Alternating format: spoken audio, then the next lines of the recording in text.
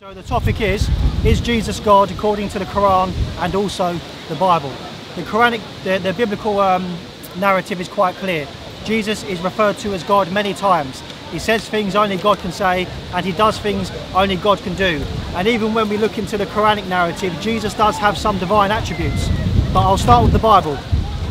Jesus uses divine titles to refer to himself that if he was just a prophet would be considered shirk and blasphemy. Jesus says in John chapter 8 verse 58, before Abraham was, I am. He's quoting from Exodus chapter 3 verse 14 where God says to Moses, tell Pharaoh, I am has sent you. So when Jesus claims to be the I am of Exodus 3.14, he's claiming to be the God who sent Moses. Therefore, he is God of Moses. Jesus also uses the divine title of, of uh, first and last.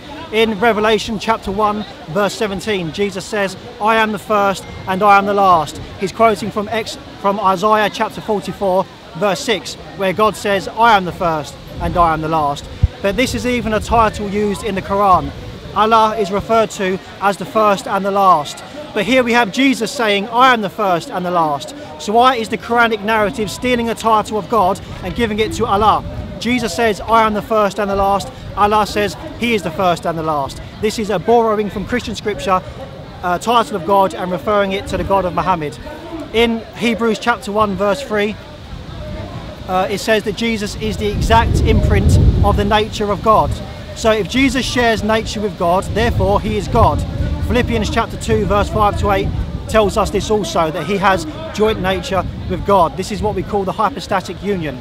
But even within the Quranic narrative, you see Jesus has divine attributes. You see that Jesus is given the ability to create. He breathes life into a clay bird. And this is an attribute that even Muhammad himself does not have. So according to the Quran, Jesus has a divine attribute that Muhammad himself does not have. So even the Quran places Jesus on a higher pedestal than the last and final prophet, supposedly.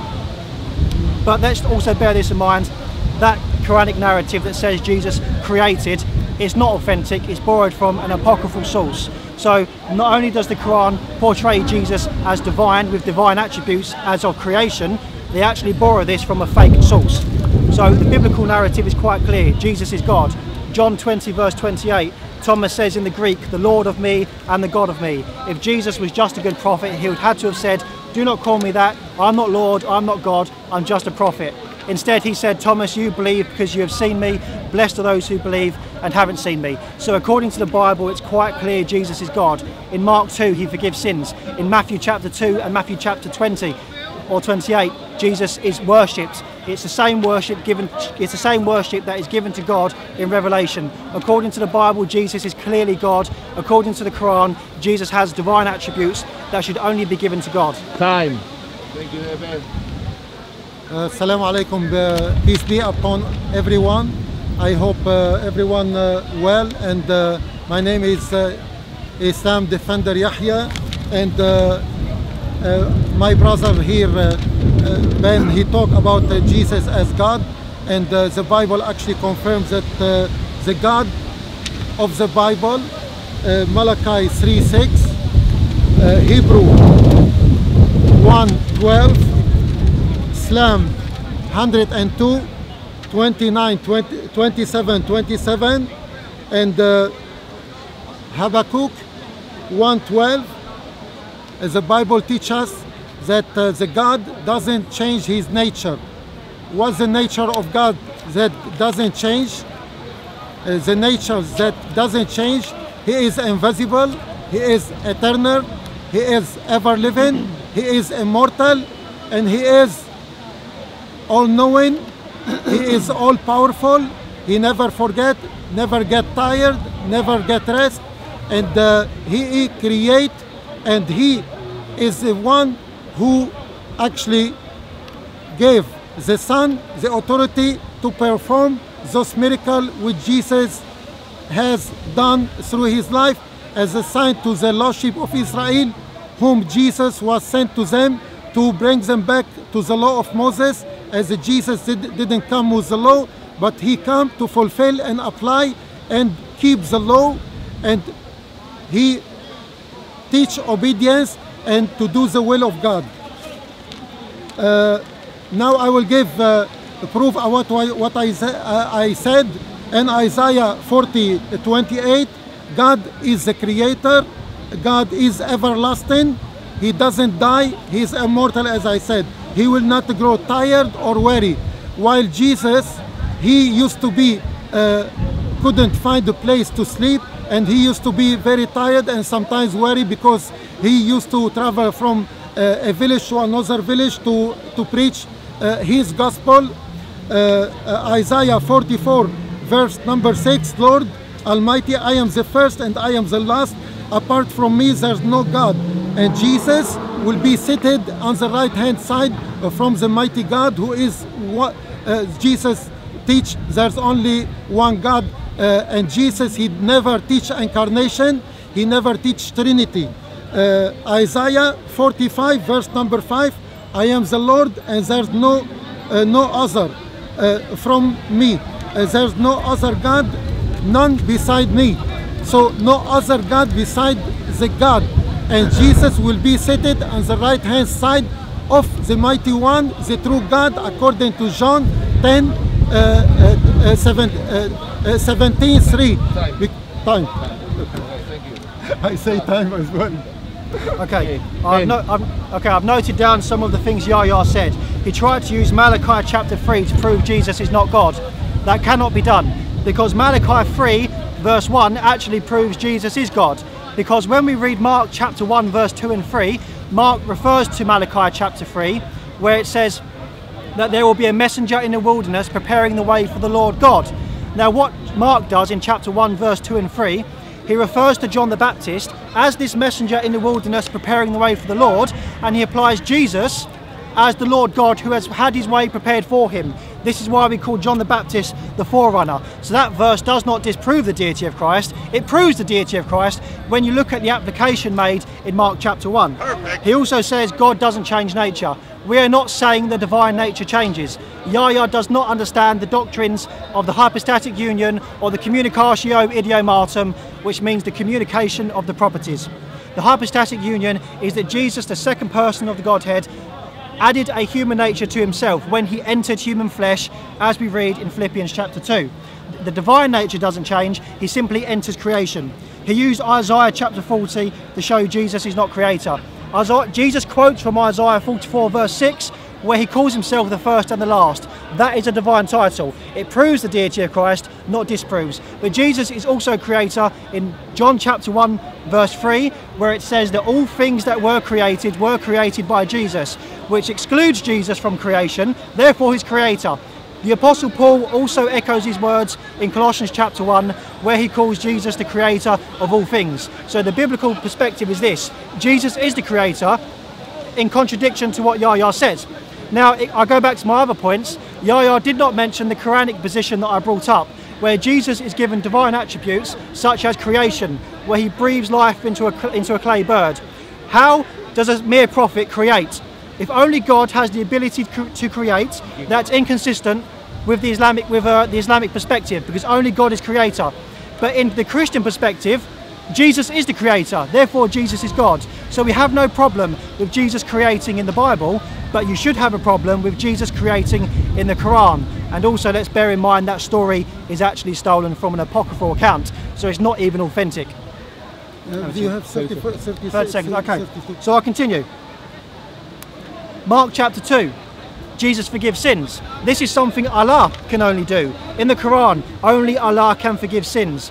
Here we have Jesus forgiving sins. If he's just a good Muslim prophet, as the Islamic perspective is, what in the world is he doing forgiving sins? This should be shirk.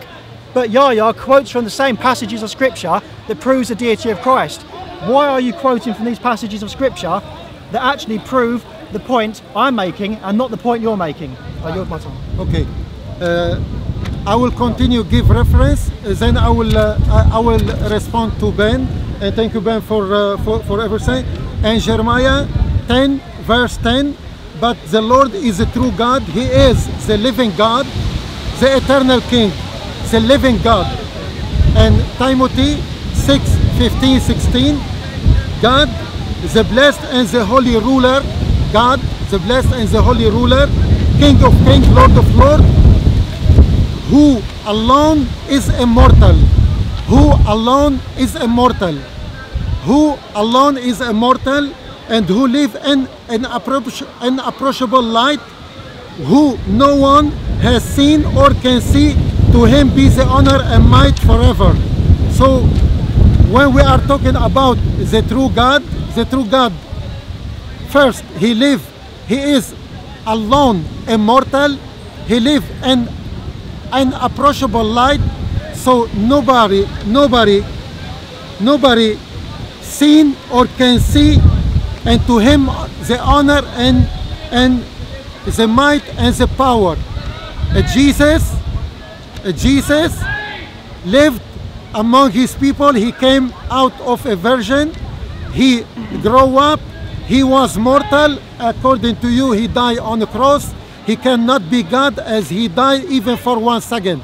And he said, he, uh, Ben, he add, add nature to his to himself to beget Jesus.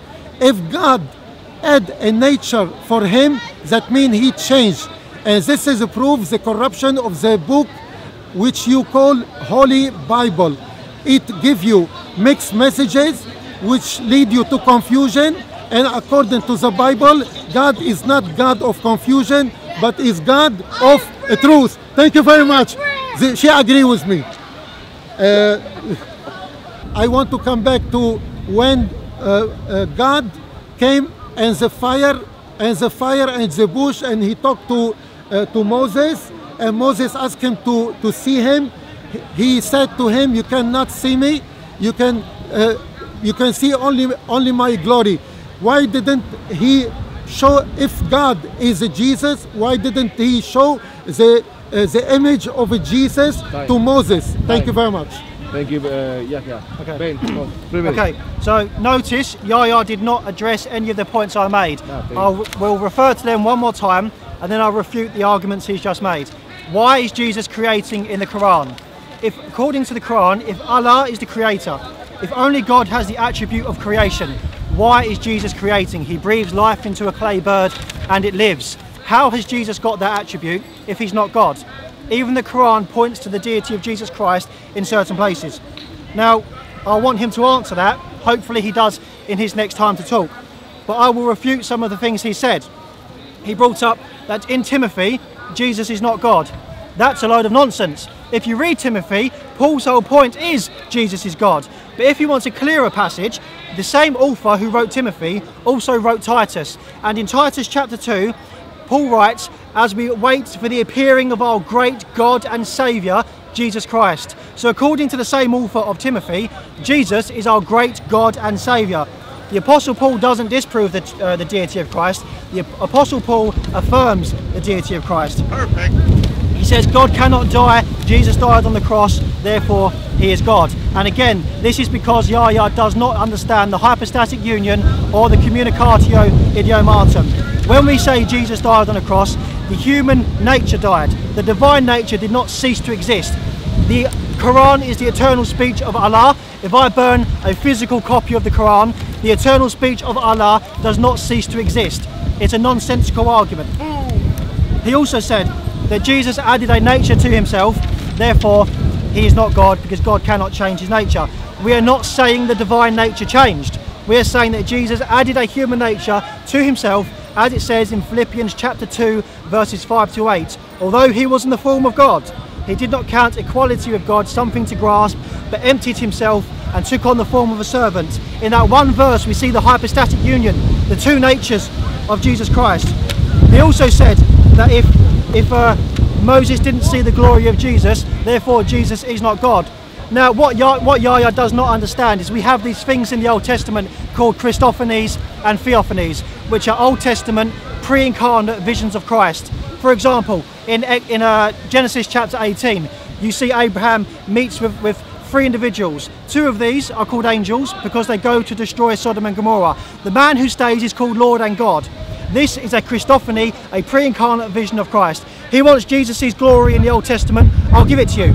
In Isaiah, when Isaiah sees the glory of God and says, I am an unclean man with unclean lips, he says, I have seen the glory of God. In Mark's Gospel, what happens?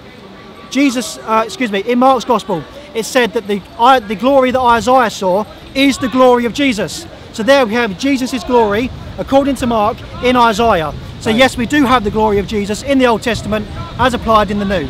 All right, can you, can you rebut the points that you made? Go to the Islamic point. You're not arguing any of the points I've made. I'm, I, I, each and every time I've picked up your points. You've not addressed my points at all. Address, address a couple of the points that you Uh, made. when I finish.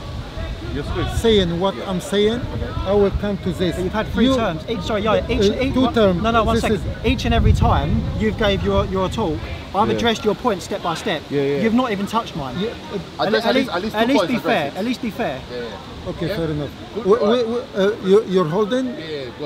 Okay, you're You holding? ready? Still you go. Yeah, yeah. Okay, your three minutes starts now. according to uh, Exodus 20, chapter 20, verse number 3.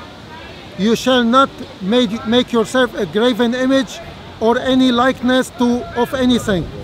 No other God before me is image, form of anything. Uh, Jesus take a form and he is the image of, of God. So 1 Colossians 1:15 Son is the image from of a human.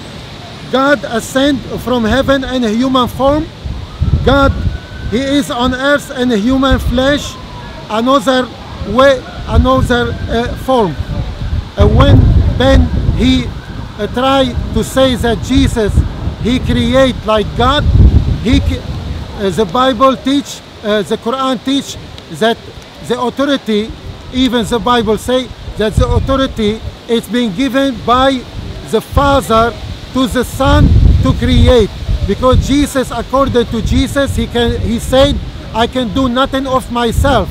But when uh, the true God give him the authority to give and permission to create and blow of his spirit into something to make it alive this is the sign and miracle that he performed in front of the Jew to believe that he is a sent by the true God Allah subhanahu wa ta'ala. And Allah subhanahu wa ta'ala you, will find the name in Genesis 1 131 if you open any Arabic Bible and, and Hebrew the uh, the Jew they uh, they confirm that Allah is the name of the God that they worship.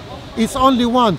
And Allah subhanahu wa ta'ala if he add another nature for himself this nature at least should be immortal while the nature of Jesus as he he admit that he died on the cross and he said it's finished on the cross and he gave up his life uh, how much time i have 40, okay 37 seconds. as I said, uh, Jesus and, and Matthew 1:18, it gives you the birth of Jesus. Uh, Jesus before he was born, uh, if he was born, that means he was formed, and if he was formed in the womb, that means he is not eternal because he has a beginning and he has a- an end. And Allah subhanahu wa ta'ala, the true God, is everlasting. He have no beginning and no end, eternal. He's the first and he's the last. And according to Ge- Genesis, Time. time, time. Okay, cool. So Ben, what are you gonna do? You gonna you gonna re, rebut the points? And, Yeah, yeah, okay. yeah. All right, cool. Okay. So basically, um, I'm going to ask this question. As I've already said, bearing in mind the Quran says Allah is the only creator. He is the creator of the heavens and earth. Jesus is also a creator. So in the Quran you have two creators, which poses a problem for pure mono- monotheism. Because if Allah also has a creator alongside him, Jesus Christ creates things, then it's not pure monotheism. Rather that's polytheism because you have two creators. Anyway, sorry, yeah. So also, I would like to ask you this question, Yahya. Is is the word of Allah uncreated? Uh, we'll finish first. Okay, the word of Allah, according to the Quran, is uncreated. Jesus is called the word of Allah. Therefore, if the word of Allah is uncreated, and Jesus is the word of Allah, therefore Jesus is uncreated, therefore you do not have pure monotheism, you have polytheism. Perfect. He also made a point about the Bible. He said the Bible teaches that Jesus was given the authority to create by God. That's not what the Bible says. Give me a verse to prove that. The Bible says in John chapter 1 verse 3 that all things that were created were created by Jesus. That excludes Jesus from creation. Therefore he's creator. Colossians chapter 1 says Jesus is creator of all things. Therefore he's not creator. The Bible also says that all things are held up by Jesus. Through him and in him we have our being. According to the Bible, Jesus is the eternal creator. Mm. His argument is in the, in the Old Testament, you don't see nothing about Jesus being creator. In the Old Testament, you do have a plurality within the Godhead. If you read Genesis chapter 1, verse 26, it says, God says, Let us, plural, make man in our, plural, image. If you go to verse 27, it then says, it goes into the singular, and God made them in his image. So in 26 you have plural, in 27 you have singular. So there you have a plurality in the oneness of God. Now going back to my point, is Allah, is the speech of Allah uncreated? Is Jesus the word of Allah? If so, Jesus is uncreated even according to the Quran. Perfect. You got 50 seconds go now. Go ahead. You have 50 No, I seconds. yield my time. Go ahead. Okay. Cool. Uh, Start now. First, if we compare the Genesis beginning and the beginning of John, we will find the biggest lie and, and the Holy Bible, uh, uh, as you call it. And Genesis, there's no mention of the word and so no mention of Jesus are associating himself by creating. Uh, and and Genesis and and Genesis and Yeah, let's- let's do it. Right. Action. uh, the wind blow everything, uh, including the camera. It's good that I am here to hold it. Anyway, I saved your camera now. Uh, anyway, uh, uh, and Genesis, we can see that uh, uh, God create heaven and earth, create everything 31 times, and there was no mention of the word at all. While if we read uh, the beginning and John, which is false and uh, uh, total lie, it says that the word was and the word was with God. So it even proceed the word God and somebody inserted intentionally to make it as Jesus, he is with God.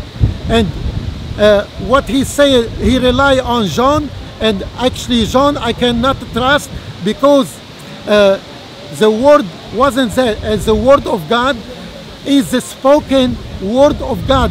So when somebody uh, speak and express what he think about, it's express himself and a way people understand and uh, uh, catch the idea he want or want to do or want to say but it doesn't mean that he is himself because if i didn't speak the word you know that who i am i am yahya. But my word is the word of yahya not yahya himself.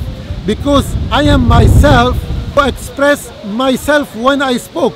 And allah subhanahu wa ta'ala when he wills and spoke the word for Jesus to be, he said be, and he sent the Holy Spirit and to uh, to Mary, and he told her, you will have a word of God. His name will be Jesus, and he will be uh, a great uh, a great prophet uh, to the Jew, and that how he came, became to be.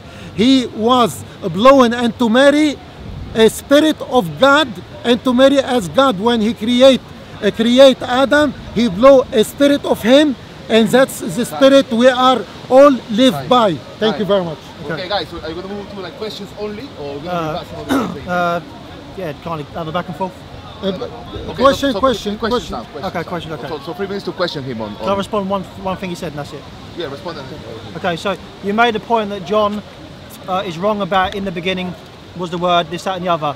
Where do you think John got that type of language from? If you read Genesis 1, it says, In the beginning, God created. So when John says, In the beginning was the Word, the Word was with God, and the Word was God, and then he says that Jesus created all things, he's getting that in the beginning language from Genesis chapter 1.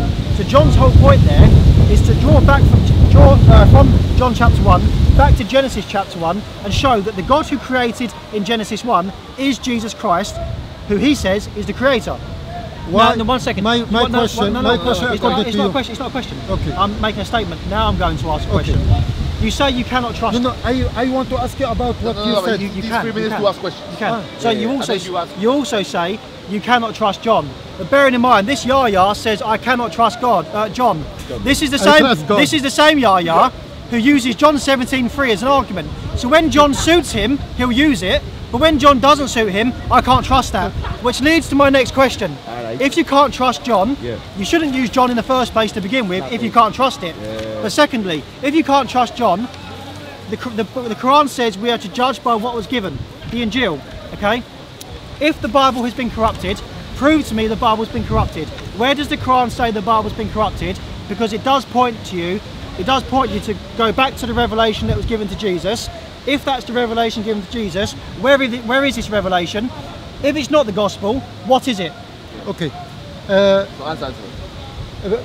my, my, answer. my, my answer to you, uh, where, where does in Genesis is, speak about the word?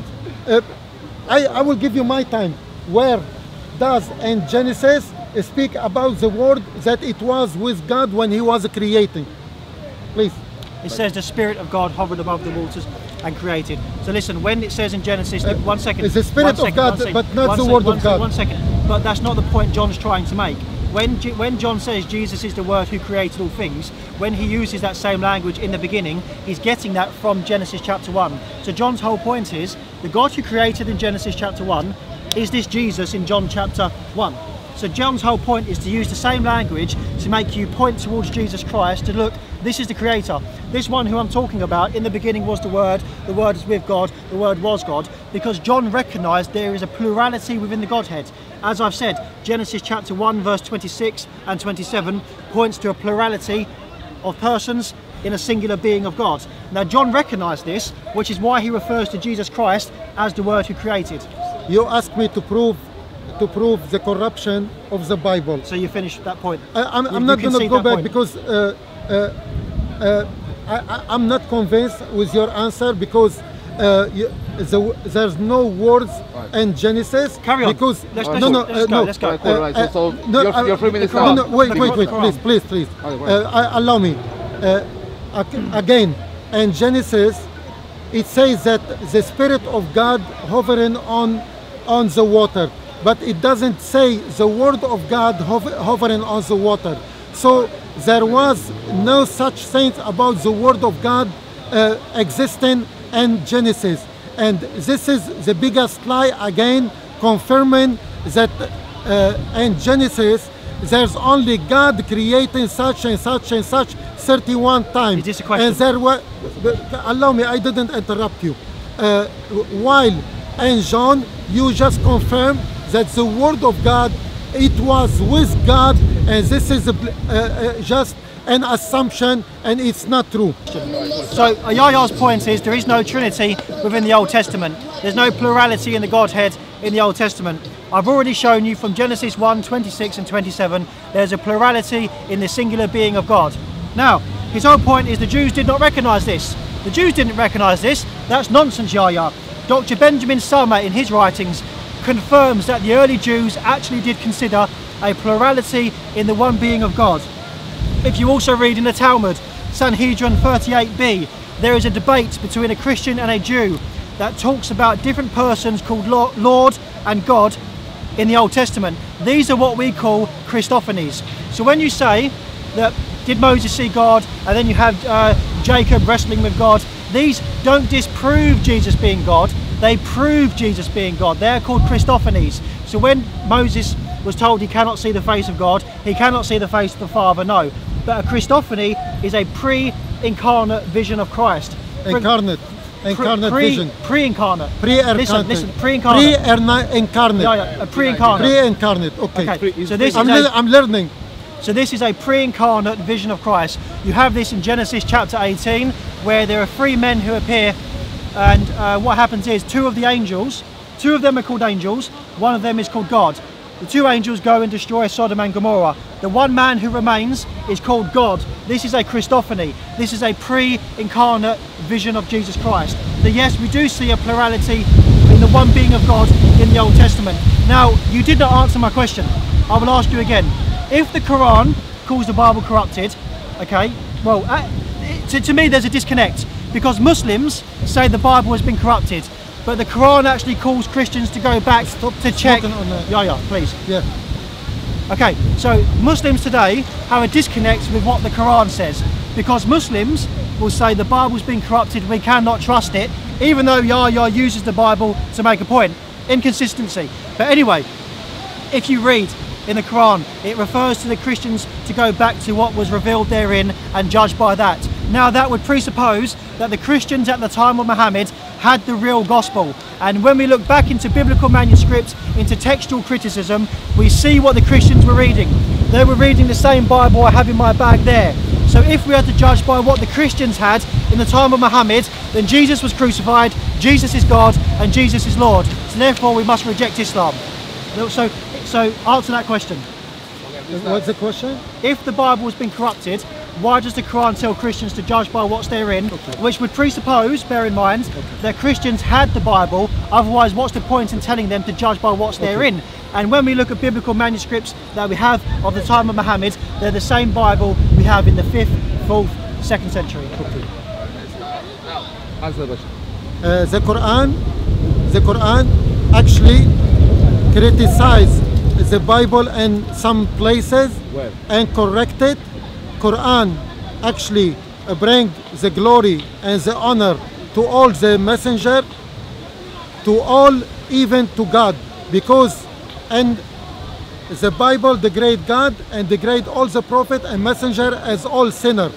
And the Quran bring the honor back to all of them. Quran tells the truth about the story and the Old Testimony which the Jew wrote it down with their, their hand and corrupted. As my own, my own, own uh, opinion, I believe that the Bible have two different messages. Have the truth and have a false teaching. That's why i spend a lot of time writing down and reading and noting down to extract the truth. The truth i rely on it to convince the christian and the jew about the truth from the bible and lead them back to the teaching the original teaching of all the prophet and messenger whom never never teach pre-incarnation but they teach the oneness of god. The, the lord is one god and there was no godhead or leghead or hand, ha- hand for god or anything uh, um, Be- ben over here bring uh, god who is invisible to a form which contradict the teaching of the Bible.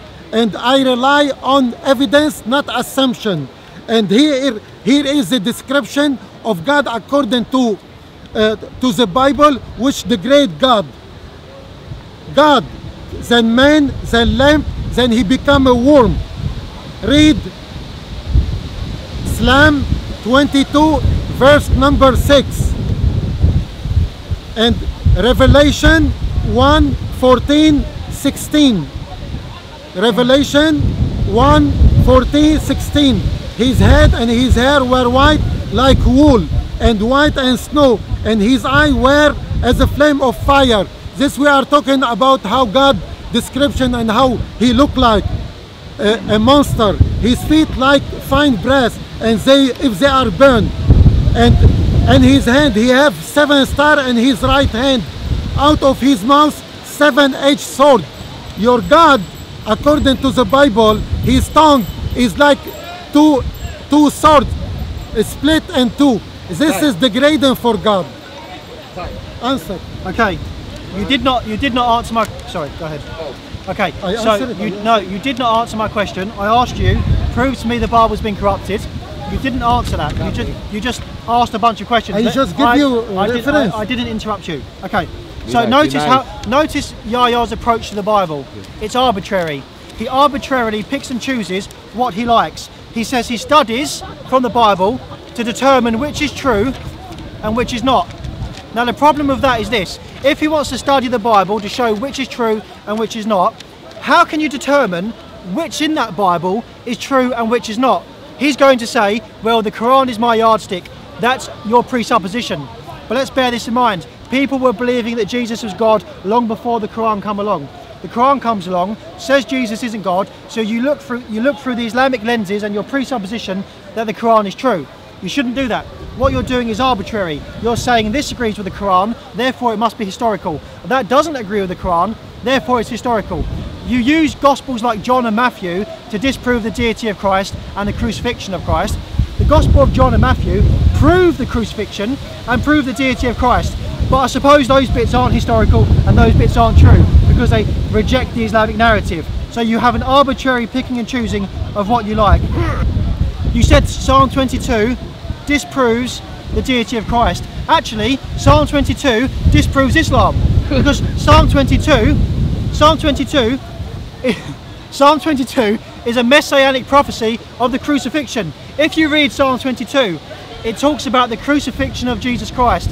It says his hands and his feet will be pierced. It describes crucifixion in a time when crucifixion was not even around.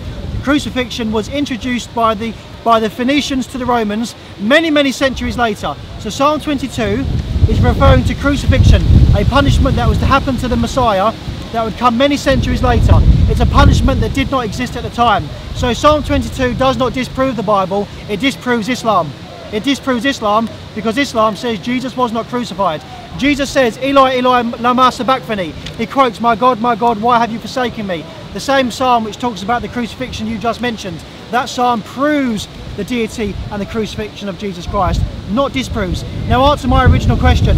Where in the Quran does it say the gospel, the Bible has been corrupted?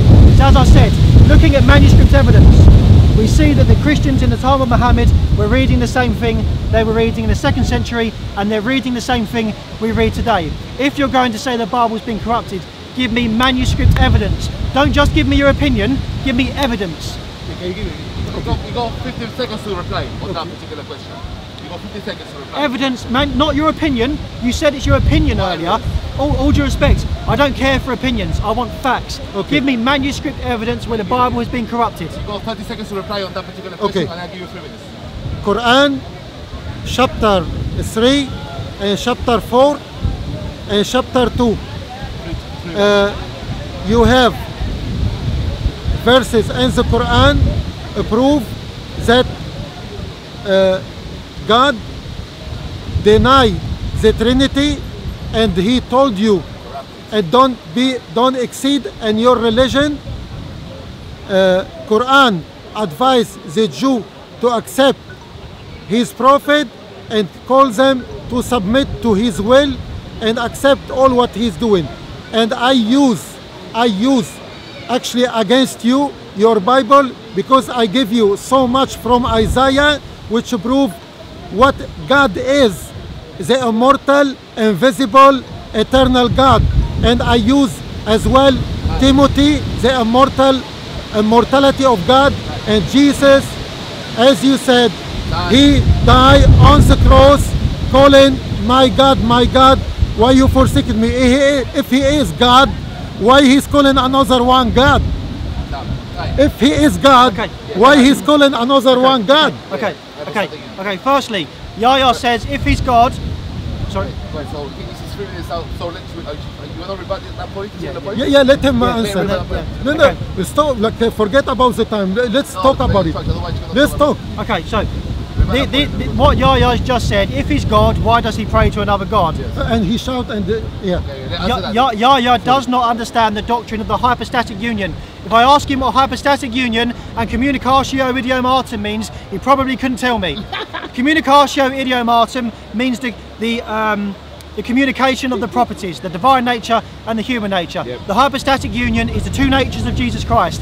Now, the two natures of Jesus Christ is not Apollinarianism or Nestorianism, where the, where the deity of Christ uh, gives up and the humanity takes over. It's not Nestorianism where they're pulled apart, They are there. The hypostatic union and the and the, uh, the human nature and the divine nature exist in the one person of Jesus Christ. So this argument would work if we was Unitarians. Why is Jesus praying to himself? We are not Unitarians. We are Trinitarians. So it makes perfect sense for Jesus to pray to his Father because when he comes down from heaven, he's not going to become a rogue deity. He's not going to go off and do his own thing. He's going to continue his relationship with his Father through earthly means, which would be prayer. And this is a problem Yahya has, that his version of the Trinity is a modalistic version, which is not the Trinity, that's a heresy. That's an early Christological heresy that was dealt with by the church many, many centuries ago. Yahya does not understand the doctrine of the Trinity. He does not understand the hypostatic union. He does not understand the communicatio idiomatum. He does not understand what we believe, but out of ignorance, he attacks what we believe. Now, again, I'll go back to my previous point. He's saying the Quran no, excuse me, yeah, you said the Quran mentions the Trinity. The Quran gets the Trinity wrong. Mary is not part of the Trinity. In chapter five of the, in chapter four of the Quran, it talks about oh, oh people of the Scripture, do not commit excess in your religion. Jesus Christ and Mary and God the Father is not the Trinity. The Quranic narrative of the Trinity is wrong. So the author of the Quran does not understand the Trinity.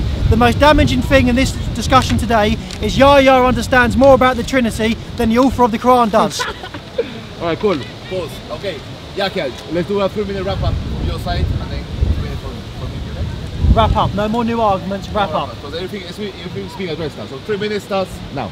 Eh, the wrap up anyone who have double personality and they will grab him and put him in mental hospital while he's telling me god god is a trini- one and three and they are separate and as well god the father and and on the throne in heaven, God the Son on earth. So and they are one. And they will be seated, Jesus will be sit side by side by the other God. So and they are one. Any anyone with double personality, they will put him in mental hospital. Yahya's blasphemy. Yeah. He said that the God of the Bible, Jesus, would be thrown into a mental asylum Yeah. because of the two natures of Jesus Christ. Bear this in mind. This is a man who believes in a prophet who split the moon and flew to Jerusalem on a winged beast. so, who would be thrown into a mental asylum here? Let's let's judge consistently. But anyway, let's continue. he says the Bible is against the teach. Uh, excuse me. I am against the teaching of Jesus Christ Yeah. because I believe he's God.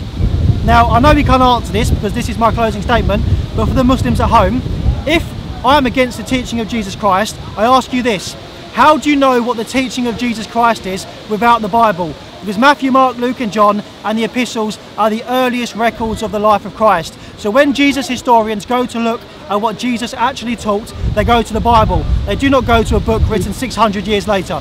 So without the Bible, you wouldn't know what Jesus even taught or what he said. You have to go to the Bible. But when Yahya comes to the Bible, he butchers the Bible because it doesn't agree with his knockoff that comes 600 years later.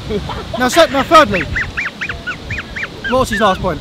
You also said that we can't understand the, the, the doctrine of the hypostatic union, therefore it can't be true. In philosophical terms, this is called a logical fallacy. It's so hard to understand, therefore it can't be true. You've engaged in a fallacious argument. I suggest you give that one up. Perfect. But I will close with this. The Bible teaches Jesus is God. He is called God in John chapter 20, verse 28. In the Greek, the Lord of me and the God of me. Jesus, being a good Muslim prophet, should have said, Don't call me that. I'm not Lord. I'm not God. I'm just a prophet. He said, Thomas, you believe because you have seen. Blessed are those who believe and haven't seen. Jesus uses Old Testament names to refer to himself. Isaiah 44 6, I am the first and last. Revelation 117, Jesus says, I am the first and the last. John 8 58, before Abraham was, I am. Moses said, uh, God said to Moses in Exodus 3:14, "Tell Pharaoh, I am has sent you." So when Jesus claims to be the I am of Exodus 3:14, he claims to be the God who sent Moses. The Jews understood this as blasphemy because in verse 59 they tried to stone him to death.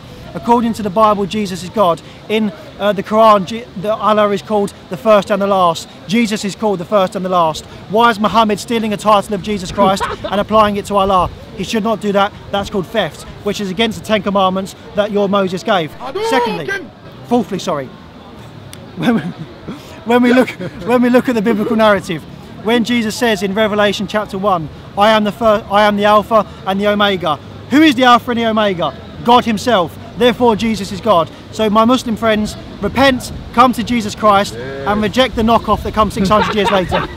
Thank you guys. Thank you, Yahya. We love you, Yahya.